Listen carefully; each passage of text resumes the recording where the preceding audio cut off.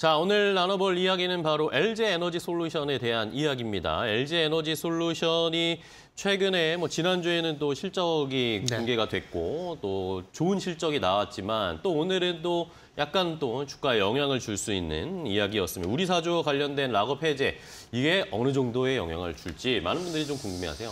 아, 이게 저는 개인적으로 규모보다는 그 종목의 어떤 주가 상황에 따라 갈릴 것 같아요. 어, 만약에 4조가 아니라 40조가라고 하더라도 네.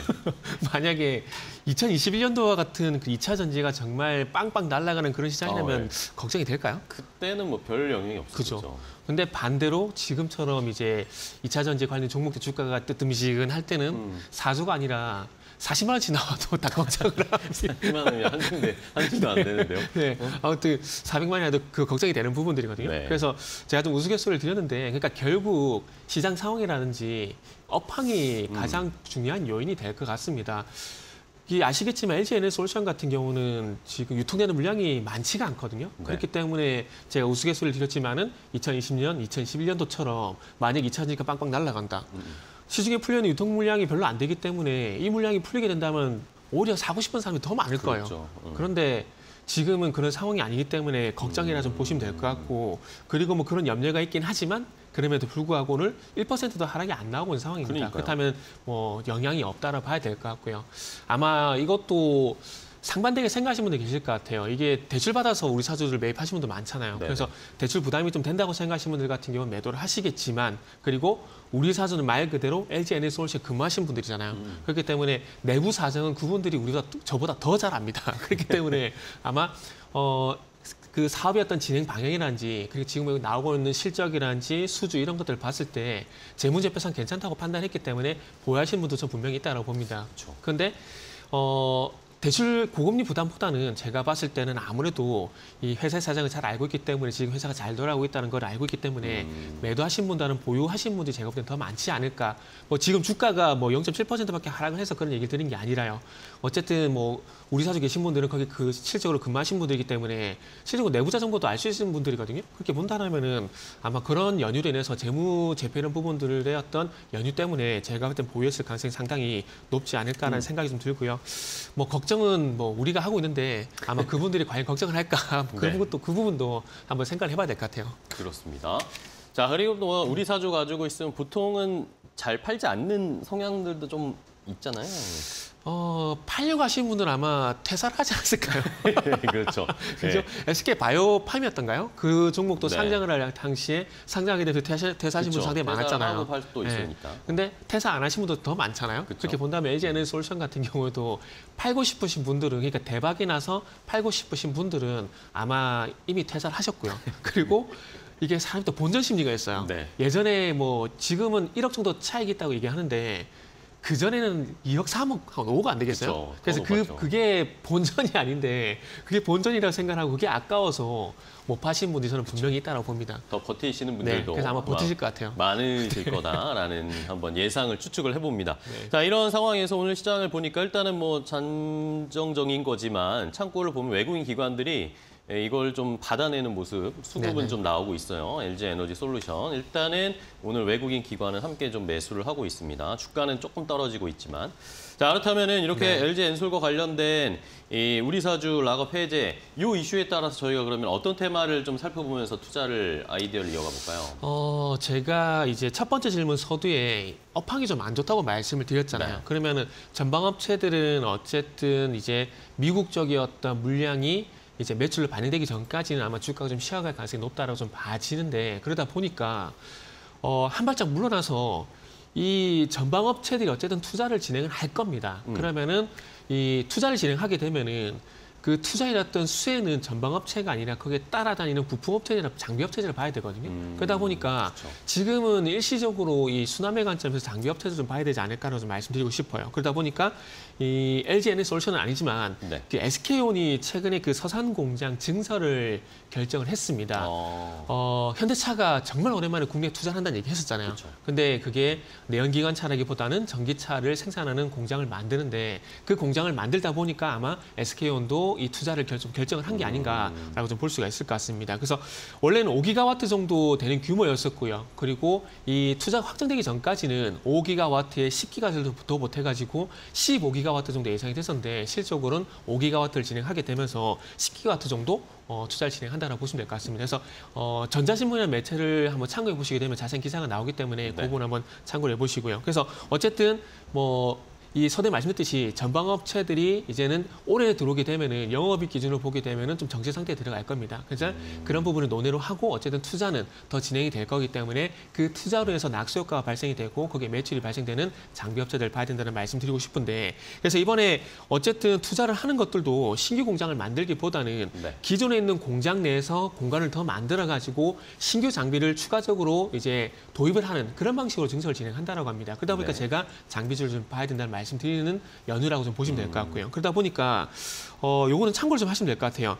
그 믹싱 공정 같은 경우는 윤성 FNC, 전극 공정 같은 경우는 PNT, 그리고 notching 공정 같은 경우에는 유일 에너테크, 우원기술. 우원기술은 참고로 말씀드리지만 상장이 안 돼 있습니다. 비상장입니다. 음. 그리고 stacking 같은 경우도 어, 우원기술 들어가는데 이 SK온이 어, 윤성 FNC, PNT, 우원기술 같은 경우는 계속해서 이 협력사를 계속 끌고 간다라고 합니다. 그렇기 네. 때문에 SK온이 투자를 하게 되면은 이 세 개 기업은 분명히 좀 기억을 하시면 좋을 것 같고요. 그리고 이번에 또 신규로 이 SK온 밴드에 들어간 기업들이 있습니다. 이건 서산 공장에 아마 들어가지 싶은데 지금 아시겠지만 SK온 같은 경우는 미국에 투자를 하고 있잖아요. 그래서 네. 블루오벌 SK라는 그런 프로젝트를 진행하고 있는데 거기에 이제 또 두 개 기업이 또 이제 새로 이제 신규 납품처로 선정이 됐습니다. 음. 어, 자비스라는 기업이 있는데 자비스 같은 경우에는 엑스레이 검사 장비를 이제 어, 공급할 가능성이 상당히 높다고 보시면 될 것 같고요. 지금 이제 백지 공시를 냈는데 거의 맞다라고 보시면 될 것 같아요. 지금 언론 보도 나오는 거 보게 되면은 소위 말하는 IT 매체에서 나오는 소식들을 보게 되면은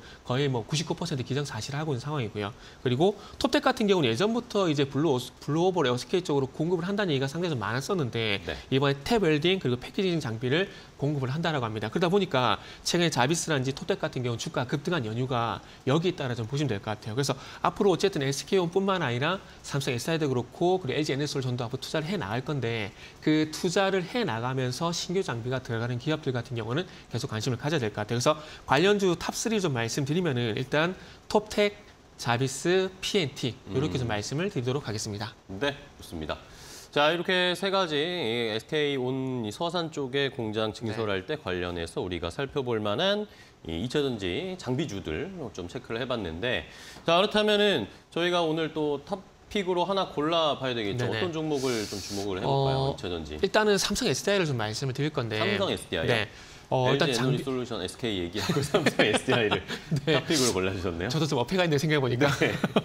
그래서 일단은 이 저는 개인적으로 올해 같은 경우는 2차 전지 이제 전박 셋업체들 같은 경우 는 조금 이제 어 소위 말하는 그 개별 흐름이 좀 나오지 않을까라는 생각이 듭니다. 네. 그러다 보니까 전방업체 같은 경우는 대장으로 좀 삼성 SDI 좀 생각을 하고 있는데 그리고 이제 부품주 같은 경우는 신규 투자를 하는 기업들을 이제 순차적으로 이제 어 리스트 좀 리스트를 좀 만들어서 보셔야 네. 되지 않을까 말씀드리고 싶어요. 그런데 일단은 삼성 SDI 일단은 top pick주로 최선호 종목으로 좀 말씀을 드리고 싶은데 이건 LG 에너지 솔루션과 좀 비교를 할 수밖에 없을 것 같아요. 무슨 그렇죠. 얘기냐면은 어 일단 이 LG 에너지 솔루션 같은 경우는 가장 큰 문제가 있습니다. 고평가. 그러니까 음. PER 기준으로 봤을 때 올해 같은 경우는 100배고요. 그리고 어, 아 죄송합니다. 작년이죠. 작년 같은 경우는 100배 정도가 되고 올해 같은 경우에는 한 80배 정도 된다고 합니다. 어우. 너무 높아요. 네. 그런데 그러다 보니까 저는 개인적으로 전방업체들 같은 경우에 봐야 될 부분이 꼭 봐야 될 부분이 한 가지 뭐냐면 고평가에서 꼭 보라는 음. 말씀드리고 싶거든요. 근데 삼성 SL 같은 경우에는 올해 예상퍼가 22배 정도가 됩니다. 그러면은 단순 계산으로 퍼 물론 어, 고평가를 기준으로 삼는 기준은 말 그대로 기준은 상당히 많지만 그 중에 하나를 꼽아서 퍼라는 것을 하나 뽑아서 보게 된다라면은 퍼만 보게 된다라면은 아무래도 매력도는 LG 에너솔루션보다는 삼성 에너 삼성 SDI가 더 높다라는 거죠. 그렇기 때문에 어, 말씀 좀 드리고 싶은 부분들이 있고요. 그리고 어, 똑같이 어, 올해 그 분기 기준 봤을 때 영업이 정체가 들어간 건 맞습니다. 그런데 우리가 봐야 될 부분이 뭐냐면 영업이익률을 봤을 때 네. 삼성 SI가 좀 더 우위에 있다라는 거죠. 어. 그런 부분들 좀 봤을 때 아무래도 그러니까 똑같이 팔더라도 남겨 먹는 게 좀 더 많다라면은 아무래도 이 말 그대로 영업이익률이라든지 순이익률이 높은 쪽으로 눈이 갈 수밖에 없는 부분들이거든요. 물론 그거는 뭐 주주 친화샷과 연결이 되긴 하지만 그 부분은 지켜봐야 되겠지만 어쨌든 뭐 이 영업이익률이라든지 순이익률이 높다라는 것들은 아무래도 주가의 매력도는 좀 더 높지 않을까라고 좀 봅니다. 그러다 보니까 어, 삼성 SI가 좀 선호도가 좀 높은 상황이라고 보시면 될 것 같고요. 그래서 어, 이런 높은 영업이익률이 나올 수 있는 부분들이 그러니까 젠 5라고 하는 이 중대형 전진대 이게 좀 비쌉니다. 이게 새로 나오다 보니까 좀 비싼데 요거에 대한 어떤 매출 비중이 늘어납니다. 그러다 보니까 올해 같은 경우는 젠 5의 비중이 20%밖에 안 됐었는데 올해 같은 경우는 최대 40% 가량 예상 예상이 되는 상황들이기 때문에 어찌 보면은 매출이든지 영업이익 같은 경우에 LG 에너지솔루션보다 조금 상황이 나을 수가 있다라는 거죠. 어쨌든 가능성도 보고 와야 되는 거거든요. 그래서 그런 부분 좀 있고 그러다 보니까 올해 이제 그 삼성 SI 같은 경우는 예상 영업이익 연간 영업이익입니다. 2조 3천 정도 예상이 되는 상황인데 전년 대비 24% 정도 성장이 또 예상이 되는 상황입니다. 그래서 어쨌든 실적이 계속해서 우상향을 하고 있는 상황이고 삼성 SDI 주가 같은 경우는 아시다시피 2022년도부터 소위 말하는 박스권이 진행되고 있는 상황입니다. 그러다 보니까 계속해서 PER가 낮아- 낮아지는 그런 현상이 발생이 될 수 있다는 발생이 될 수 있다라는 거죠. 그래서 매출 성장이라든지 그리고 조금 고평가가 해소가 되고 있다라든지 이런 점을 보게 된다라면은 LG 에너지 솔- LG 에너지 솔루션보다는 삼성 SDI가 상대적으로 매력이 있다라는 말씀을 좀 드릴 수가 있을 것 같습니다. 네. 그래서 마지막 차트 좀 보시면서 말씀을 드릴 건데 가격 전략 주실까요? 네네. 음. 어, 차트 보시면서 가격 전략도 바로 말씀을 좀 드릴게요. 방수, 어, 서두에 말씀을 드린 대로 이 삼성 SI 같은 경우는 지금 82만 원을 고점으로 해서 2022년도 이후에 현재 소위 말하는 서두에 말씀드린 박스권 흐름이 현재 진행이 되고 있는. 상황입니다. 그래서 요념, 요 부분 좀 유념하시고요. 그래서 매수가 같은 경우는 조금 더 조정을 받으면은 어, 매수를 하시라고 좀 말씀드리고 싶어요.